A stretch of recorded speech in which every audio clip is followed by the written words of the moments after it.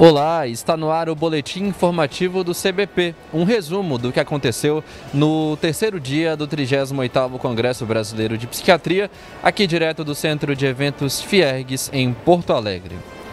O penúltimo dia do CBP foi repleto de atividades de altíssima qualidade. Teve aulas de atualização em psicofarmacologia, onde os participantes puderam aprender mais sobre farmacocinética e farmacodinâmica no século XXI. Por que a depressão agrava as doenças clínicas, os fatores de risco, diagnóstico e intervenção precoce das, nas psicoses e ainda como a tecnologia pode ser usada a favor da prática clínica. No período da tarde, tivemos temas como fronteiras no, no diagnóstico e tratamento do transtorno bipolar e espiritualidade, psiquiatria, psicoterapia e desafios do mundo atual. Também foi realizado o Fórum FENAEND SM e ABP sobre competências familiares na doença mental e seus desafios. O Departamento de Psiquiatria da Infância e da Adolescência da ABP apresentou seu simpósio com as mais recentes pesquisas na área. Foram 20 mesas redondas com temas diversos. Realmente, uma sexta-feira de muito conteúdo e qualidade. Bom, e aqui no estúdio da BP, durante o dia, recebemos diversos médicos renomados. Eles falaram um pouquinho sobre as expectativas para Fortaleza no ano que vem. Bom, Fortaleza é um lugar maravilhoso, né? Primeira coisa que Nordeste é sempre um lugar acolhedor demais, um lugar muito bonito. Então a gente vai contar, além de uma programação científica de ponta, um, um congresso brasileiro de psiquiatria muito maior do que o atual. Eu acredito que nossos enfrentamentos de hoje é, já terão sido superados em muitos dos obstáculos, teremos um crescimento maior, maior proximidade com o que a gente conhecia do usual Congresso Brasileiro de Psiquiatria. Teremos mais participantes presenciais e isso vai nos enriquecer muito. Então, alguns atropelos que a gente pode ter hoje com a tecnologia que nos aproxima, mas às vezes dificulta um pouquinho, estarão superados. Então, acredito que teremos muito mais colegas para compartilhar esses momentos presenciais. E, por óbvio, vou estar lá e, com certeza, pensando muito no trabalho realizado tanto na vida prática, nas observações científicas, nas relações com os, seus, os meus pacientes, familiares, para além, nas associações. Né? Então, eu acredito que a gente vai ter um momento muito legal em Fortaleza, está todo mundo convidado e só pode ser incrível.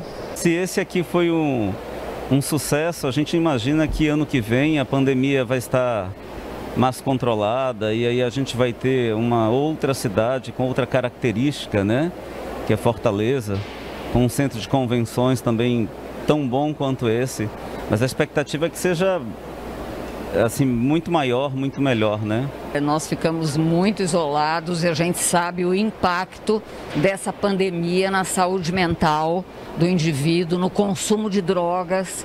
Houve um aumento muito grande em relação às doenças mentais, a novos casos de transtornos e também a consumo de todas as drogas. Então, sair dessa pandemia com, com tudo controlado, com as respostas sanitárias adequadas, estarmos juntos para discutir ciência deve fazer toda a diferença novamente na nossa vida. É a minha expectativa. Vamos agora com o nosso repórter Diego Schweng. Ele vai trazer para a gente mais informações justamente sobre a 39ª edição do CBP em Fortaleza. Olá Lucas, olá você que está acompanhando aqui a última edição do Boletim CBP ao vivo. Lucas, eu trago agora informações sobre o CBP de Fortaleza, que vai acontecer dos dias 5 a 8 de outubro do ano de 2022. Aqui no CBP de Porto Alegre, os participantes interessados em se inscrever, seja estudante ou médico ainda não associado da BP, tem que procurar esse stand aqui.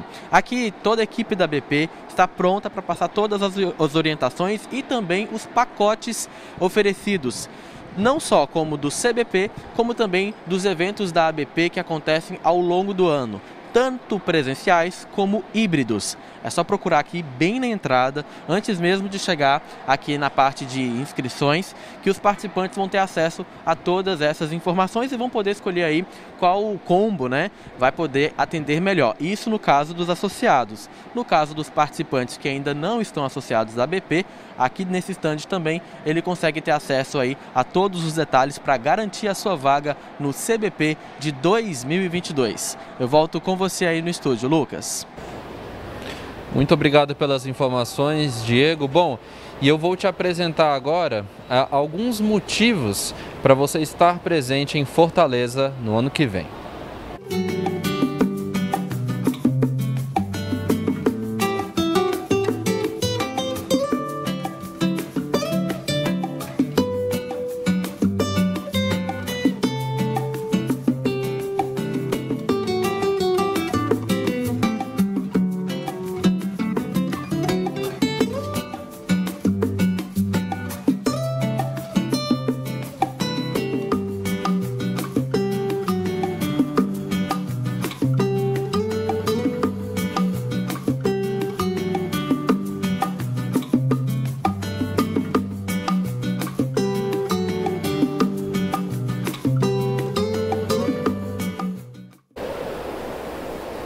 Tá aí, Fortaleza. Bom, aqui ao meu lado está o Diego Schweng. A gente está aqui finalizando a cobertura do ABPTV que fizemos durante esses três dias.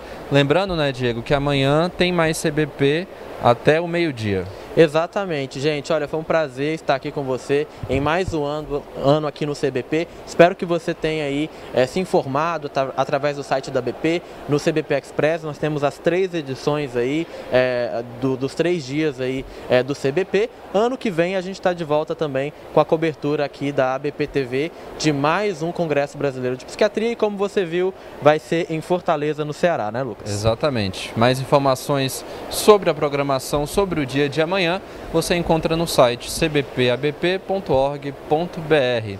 Até a próxima. Tchau!